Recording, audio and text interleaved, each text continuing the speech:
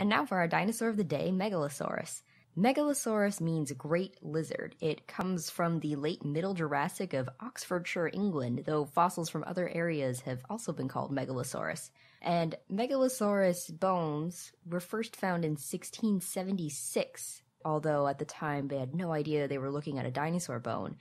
It was the lower part of a femur, and it was described by Robert Plot, a chemistry professor at the University of Oxford and the first curator of the Ashmolean Museum and it was described as the thigh bone of a Roman war elephant. But later, he thought that it came from a giant human, such as one that was mentioned in the Bible. The bone is lost, but his illustration was so detailed that it has now been identified as Megalosaurus. The first time I read this, I was just so shocked that a dinosaur bone was actually discovered and described in detail back in 1676 because I always think of the first dinosaur discoveries coming in the mid 1800s, basically. So it's pretty impressive that way back then they were already starting to discover these things. Yeah. So Plot's description and illustration is the first illustration of a dinosaur that's been published. And as you can imagine, Megalosaurus has an interesting history when it comes to discovery and naming. Its first scientific name, technically, was from the 1700s by Richard Brookes, who looked at this piece of bone and called it scrotum humanum because he thought it looked like a scrotum. This is not a valid name anymore. It was validly named, and it was the first non avian dinosaur to be validly named in 1824. And then it had a type species name, Megalosaurus bucklandii, named in 1827. So, again, lots of history here. In 1815, John Kidd reported on a find of bones in the Stonesfield quarry where the Megalosaurus femur was found, and he reported of giant tetrapods, which William Buckland, a professor of geology at the University of Oxford and dean of Christ Church, acquired. And Buckland was an interesting guy. He apparently had a pet bear that he liked to dress in academic robes, and he. What? That's all I could find on it. I wish there were more details. that is insane. he had a table made with dinosaur droppings that people admired without realizing what they were. And he liked to eat whatever he could try, including panthers, crocodiles, and toasted mice. And he said that mole and blue bottle fly were the worst tasting animals he's an interesting guy. in 1818, French comparative anatomist Georges Cuvier visited Buckland and said that these bones came from a giant lizard like creature. So Buckland and his friend William Conybeare studied the fossils, and Conybeare said they were from a quote huge lizard. This is in 1821. In 1822, James Parkinson, a physician, announced the name Megalosaurus and illustrated one of the teeth, and he said that Megalosaurus was 40 feet long and 8 feet tall. Buckland kept studying Megalosaurus in 1823, and his wife Mary Morland drew the bones, which became the basis for his illustrating lithographies. And Buckland formally announced Megalosaurus in 1824. So James Parkinson just kind of announced it, but I guess to formally announce it, you need to describe it in a paper. So Buckland formally described the dinosaur in his paper Notice on the Megalosaurus or Great Fossil Lizard of Stonesfield, which was published in 1824 in the Geological Society of London. However, he did not provide a specific name, species name, and this was common in the early 19th century. The genus was considered to be more important than the species name. Yeah, and actually, we do that all the time just in common speech about dinosaurs. We'll talk about Apatosaurus, but we don't even mention the species name. Mm-hmm. At the time, there were Orthodox Christians who had a problem with the existence of Megalosaurus. They said that suffering and death only came from original sin, and that it didn't make sense that they had this carnivorous creature that lived before humans. And some people said, well, Megalosaurus was probably originally a peaceful vegetarian, and that's how that happened. But Buckland said that no, actually, Megalosaurus helped end animal suffering by preying on only old and sick animals.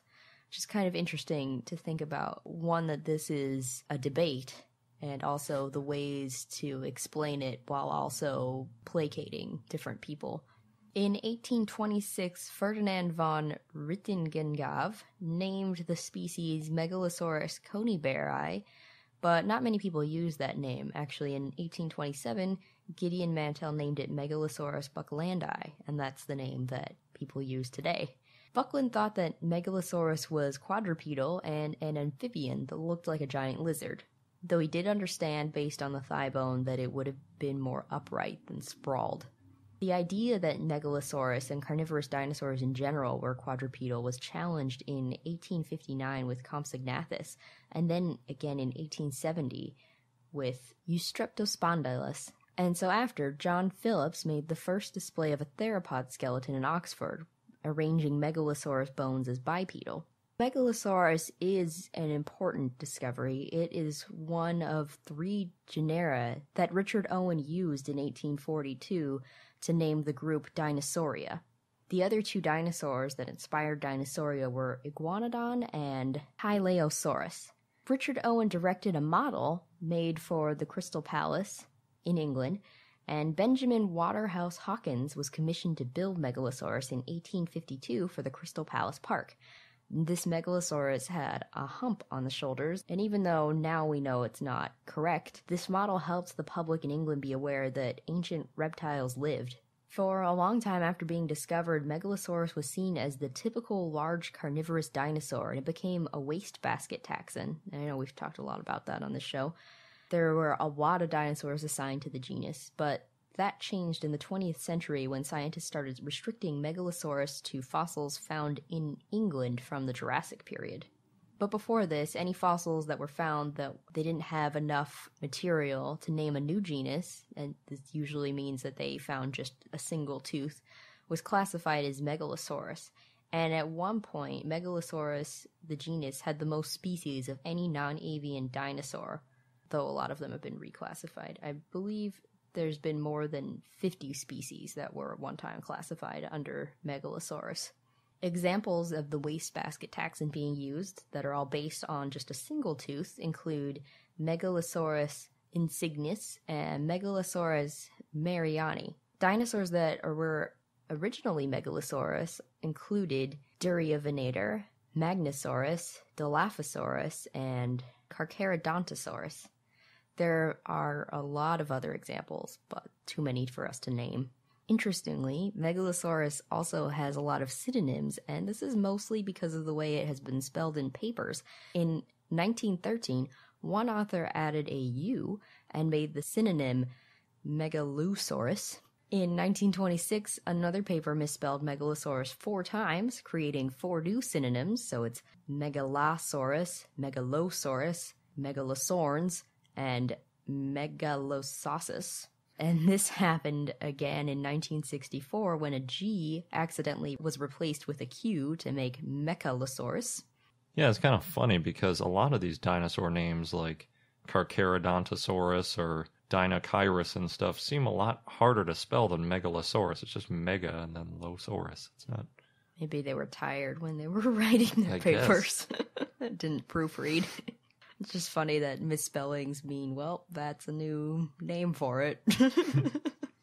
In the late 20th and early 21st century, Ronan Allain and Dan Chure said that the fossils found in the same quarry as Megalosaurus may be multiple types of dinosaurs. Shocking. Some researchers said that there were no distinguishing characteristics between Megalosaurus and other relatives, making Megalosaurus a nomen dubium, but in 2008, Roger Benson and colleagues analyzed Megalosaurus and identified distinguishing characteristics in its lower jaw.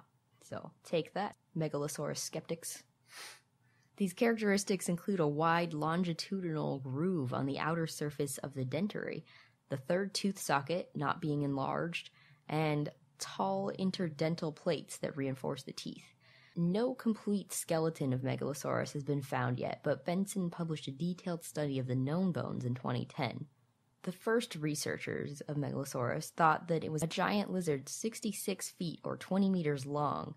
Richard Owen in 1842 said that it was 30 feet or 9 meters long and was quadrupedal, and nowadays it's thought to be 23 feet or 7 meters long and weighing 1.1 tons and being bipedal with a long tail for balance.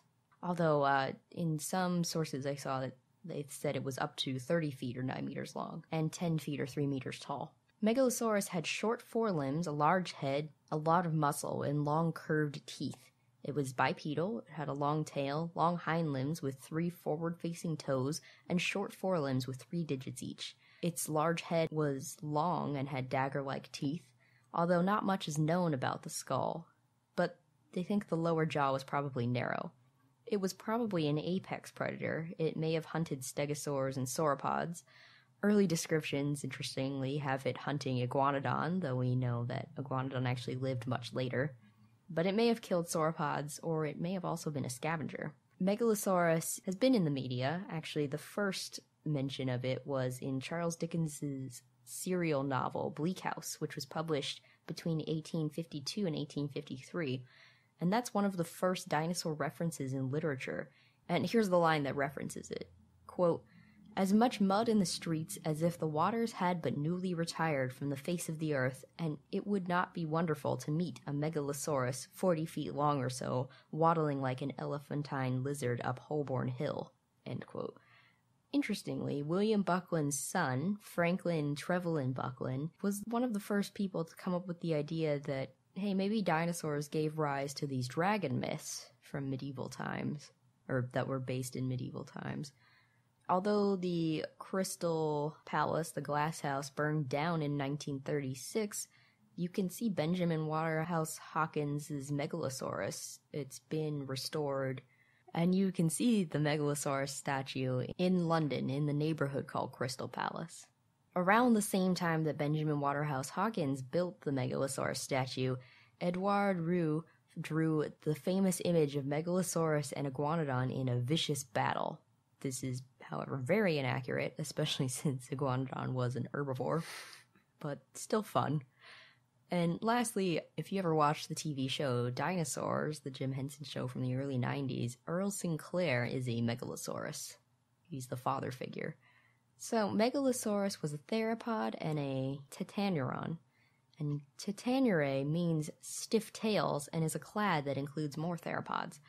The clade appeared in the earlier Middle Jurassic, but it wasn't named until 1986 by Jacques Gauthier, and it includes all theropods more closely related to modern birds than Ceratosaurus.